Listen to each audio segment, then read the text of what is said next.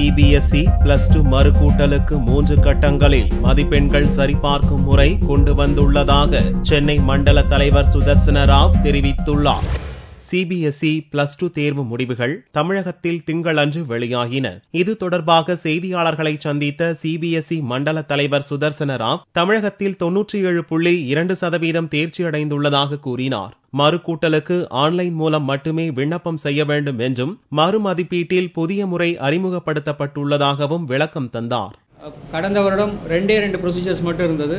One is rechecking அதில் வந்து total check பண்ணுவாங்க. ஏதாவது விடை வந்து திருத்தாமல் இருந்திருந்தாலோ இல்லை மார்க் கொடுக்காம இருந்திருந்தாலோ அதை கன்சிடர் பண்ணுவாங்க. நெக்ஸ்ட் ஸ்டெப் லாஸ்ட் இயர் வந்து ஃபோட்டோஸ்டேட் காப்பிக்கு அப்ளை பண்ண வேண்டியிருந்தது.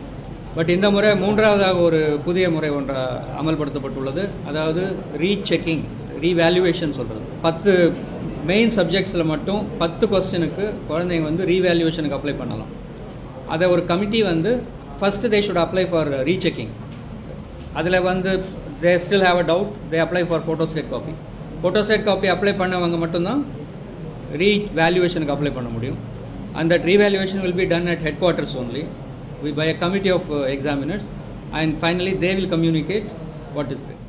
பொறியியல் மருத்துவம் உள்ளிட்ட உயர் படிப்புகளுக்கு விண்ணப்பிக்க விரும்புவோர் தங்களின் மதிப்பெண் சான்றிதழை ஆன்லைனில் பதிவிறக்கம் செய்து கொள்ளலாம் என்றும் சுதர்சன ராவ் தெரிவித்தார்